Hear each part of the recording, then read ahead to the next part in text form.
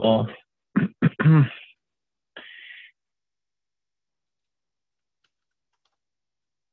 Sina, are you up for kicking it off or would you like me to do that? Thanks for sharing your screen, by the way.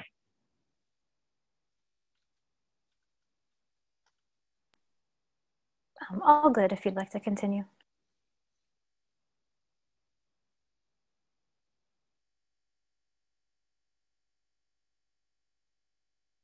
Cool. So let's see.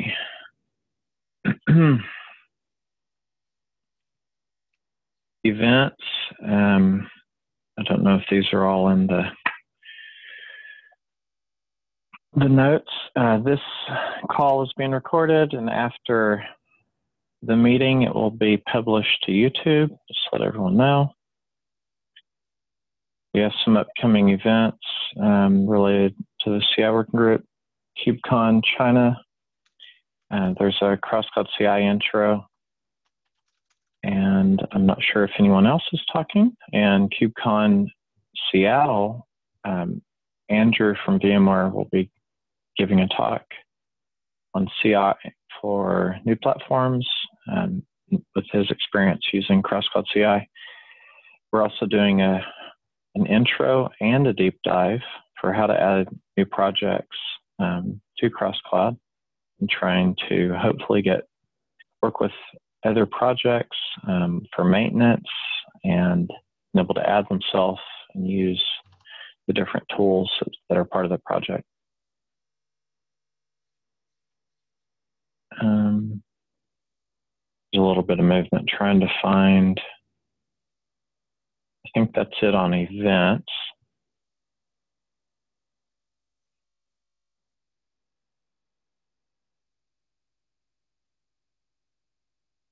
Awesome.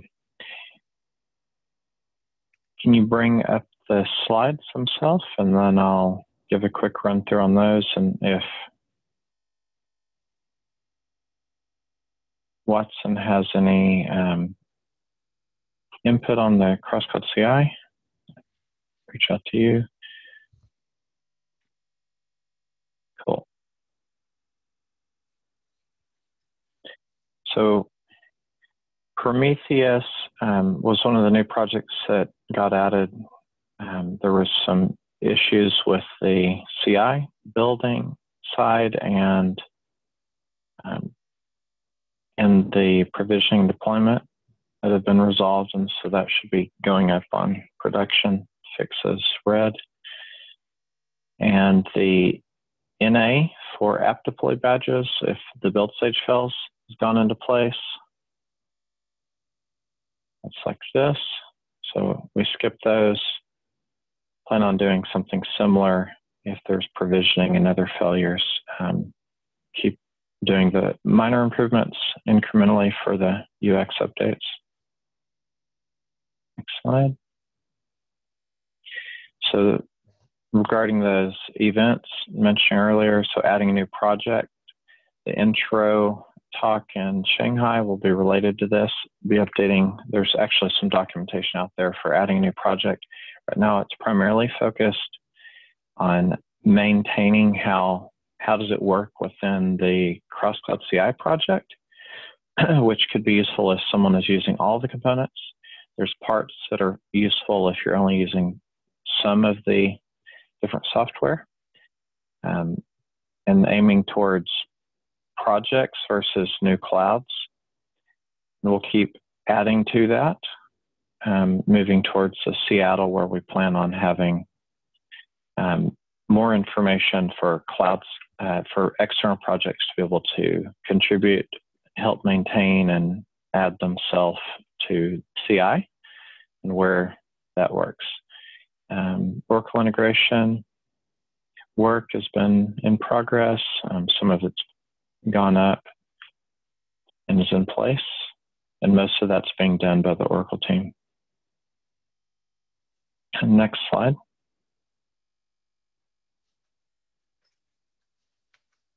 Uh, part of the Cross Cloud CI project and another project I'm talking about in a bit. Working a lot with the network service mesh um, group, and they are using the cross cloud, the provisioner portion of the cross cloud CI project for deploying Kubernetes clusters from Circle CI um, and doing some other work with that. So we've been working with them to try to roll those changes back in, any updates, and basically um, share and spread the usage of that project and improve it so that more projects can use it. And it's also being used um, for this other project that we'll go into, the CNF uh, comparison project, which is another CNCF project.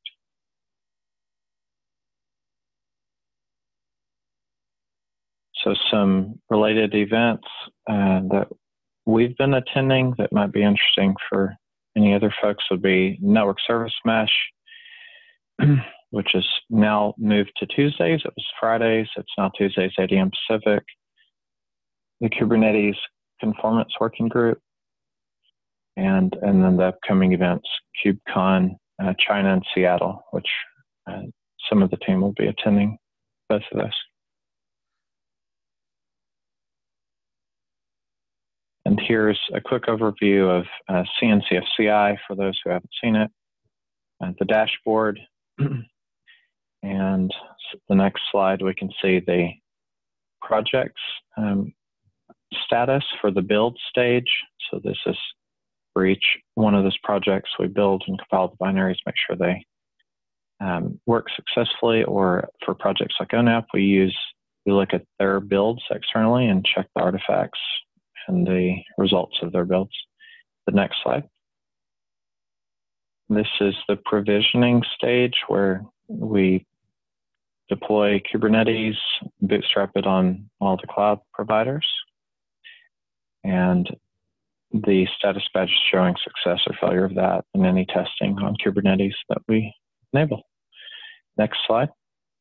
This is the app deploy, where we take the artifacts from the build, and deploy them with Helm charts to each of those uh, clusters on every cloud provider, and then run any end-to-end test for each project. And that's a quick overview.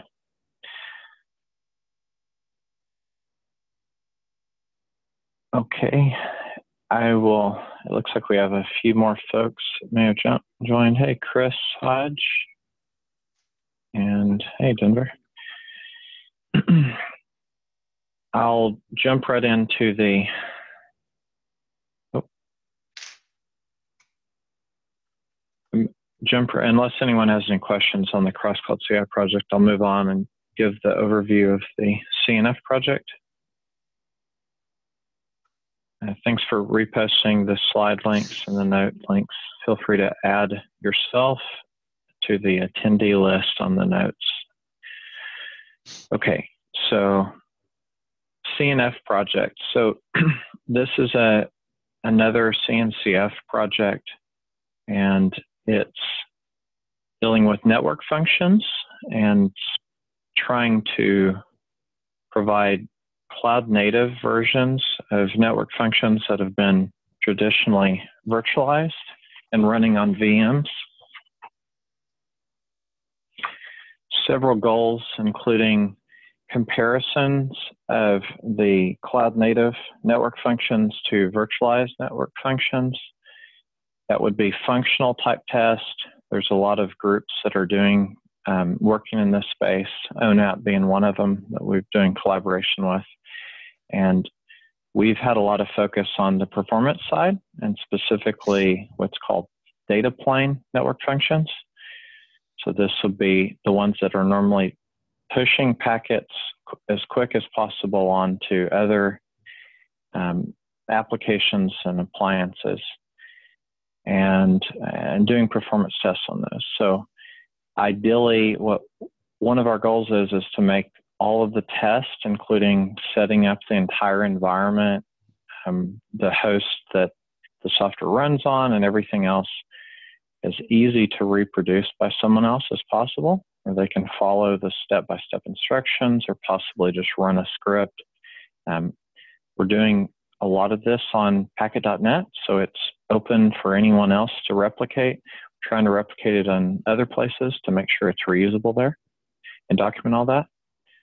We're also um, trying to create composable network functions. So a lot of the projects they have, uh, or companies, uh, so projects or companies may have network functions that work in a particular use case or in a particular location.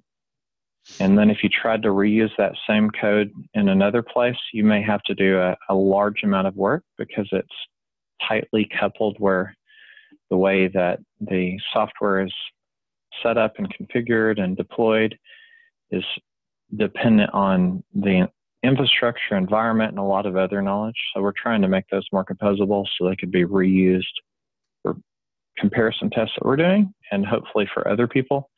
And the tie-in with that would be reference code and these use cases. So these are real world examples that hopefully people can take and say, okay, this is something that I'd like to do, and here's a working example of that, and go from there.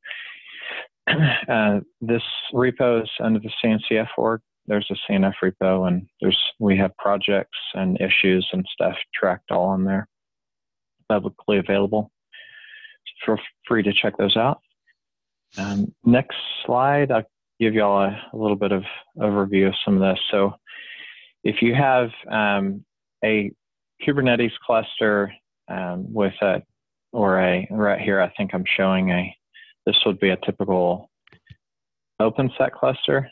So controllers and compute, you could say this would be two masters and uh, three worker nodes. And this is talking about on packet.net. So you have something like that. For our comparison test, we have a, an external machine that's running um, NFV Bench, which is a Linux Foundation open source project for doing packet generation and sending it to these. So this is the kind of your machine overview of what that could look like. And if we go to slide 20, this would be an example of a use case. So um, where you would take the different network functions and how they could go together. So this one's talking about a CPE use case, which is uh, customer premises equipment where you have some device at, say, like a home modem or something tied in, providing like TV and audio and other services, and it's connecting over the network back to the provider. And then it goes through various devices or software. So this shows the broadband network gateway, some multiplexer that handles the different types of traffic. You may have DHCP, DNS, so those are different things. The split here in this view, the bottom is showing what would be data planes, so those are high performance. And then your DHCP and authentication and DNS are your um, not as high performance. They're still important for functionality, but they're a different layer. And all of these together provide what the end user is wanting is to get to some service that the provider, like maybe that's audio or TV or data, whatever it happens to be. So they could go through all these and ask to push. So if you go on to slide 21,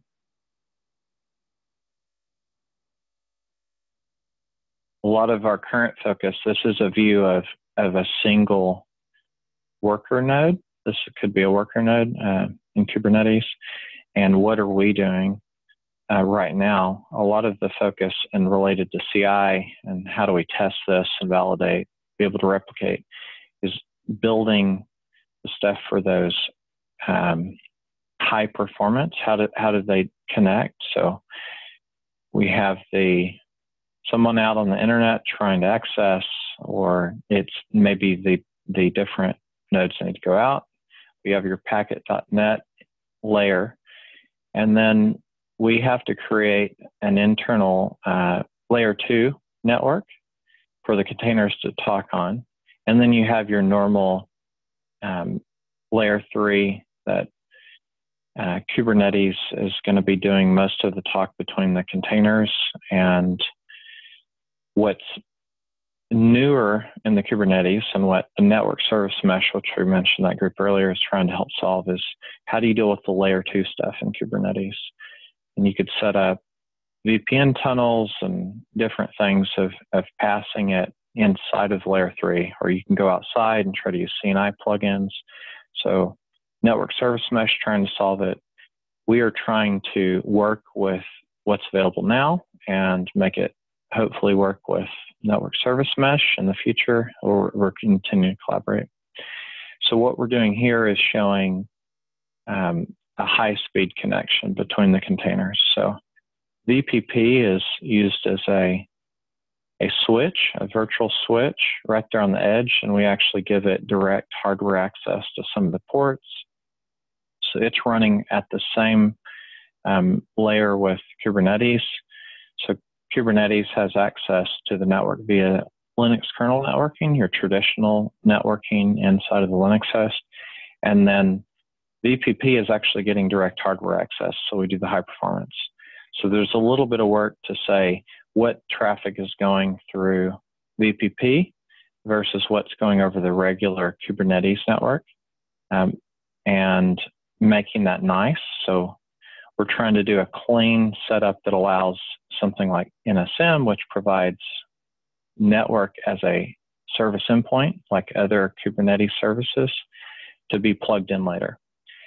And this is what we're dealing with with orchestration right now and the testing around this, which makes it a little bit more difficult. The MemIF interface is allowing the high performance between the containers.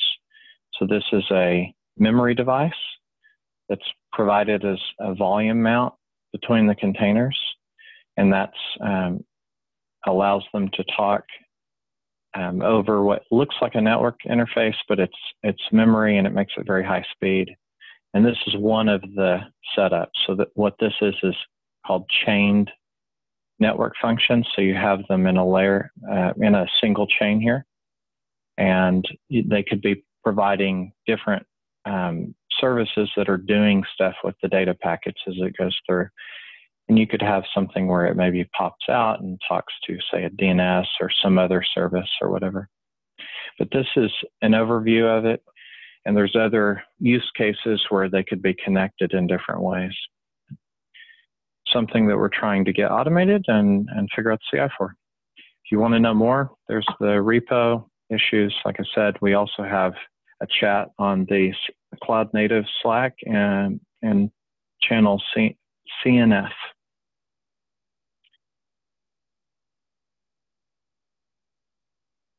And that's it for me. Looks like HH, are you ready to give an update on, on you have conformance working group? Sure, we're presenting. Can you hear me? Yes, go ahead. Um, so we've been refactoring um, API Snoop from a statically generated site um, into an API so that we can have a React Native front end to do all the fun stuff that, uh, that Cross Cloud does with their UI bits, uh, dynamically updating the things. Um, we have a, um, prototype right now up for the API. Uh, it's listed there if you don't mind clicking on it. I'm reluctant to share my screen as far as it functioning. Um, I don't know if you, there's a plugin you can have that'll actually show you uh, this in a, in a nice way. Um, as far as it's just JSON data. Um, but there's um, a list of tests um, and how many times they get hit and their endpoints. And um, there's a um, I forget what the name of the plugin is. Um, but that stuff is now able to be tagged and filtered. Uh, we're working on the, the UI. It's up on, grab another URL real quick. It's not typing over here. There we go. Bit of a lag.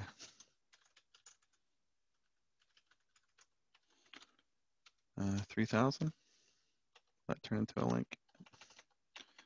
Um, yeah, we're having some um, some issues with the, the sunburst loading. Oh, wow, it's loading much quicker now. Um, but trying to um, do the selections, and I suspect we'll be cranking through that today. So if anyone's a reactor, um, would be love some help with that. Be um, showing um, hopefully these updates with the with the tags um, shortly. Like, I think it's tomorrow at the same time, so we're in 20, 23 and a half hours. So if we come to that, and then we're doing our um, presentation uh, on our data analysis for cross-community things um, in Shanghai. So we'll look forward to that, and we're trying to decide whether we should come to Seattle or not. But that's it from me.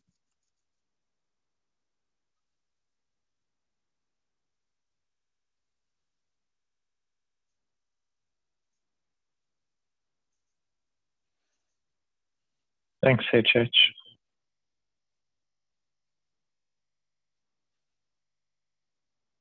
Do you have a link or a name for the presentation in uh, Shanghai, KubeCon China?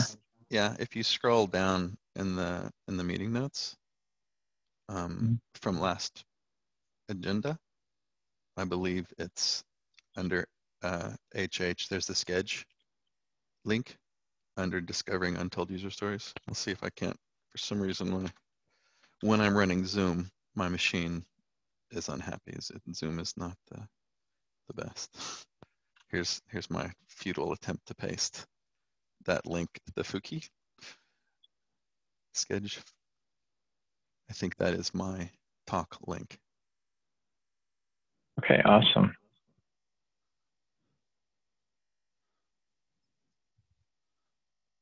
Um, it's not, we're going to have a uh, uh, four people coming from uh, from the Bay of Plenty area. One is a, a Maori lady who's actually has some has whakapapa back to her her her uh, her her canoe, which is not called a canoe here, but um, so it'll be neat to have her her present for that.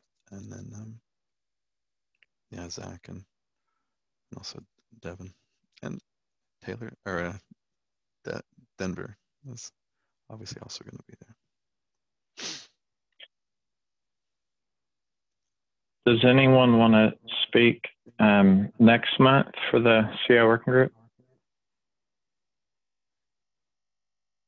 That'll be just after the conference, so um, I wouldn't mind okay. trying to show the CI portions of of API Snoop because the the UI and the other parts are just the data visualization pieces, which we're getting to kind of at the end. Um, most of the interesting stuff is actually happening um, in the generation through the CI stuff within the CNCF. So I might uh, put my hand forward for that. Cool. Does anyone else have anything to talk about before we end this call?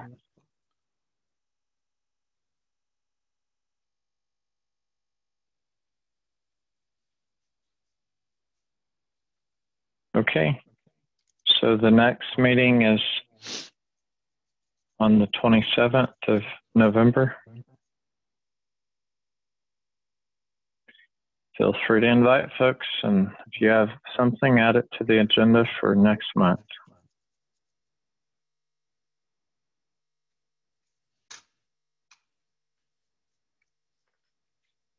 Thanks for showing that. How to attend, there's a mailing list.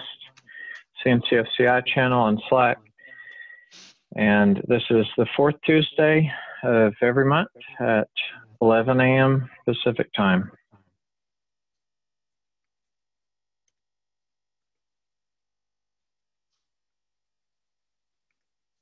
Have a good one. Cheers. You guys.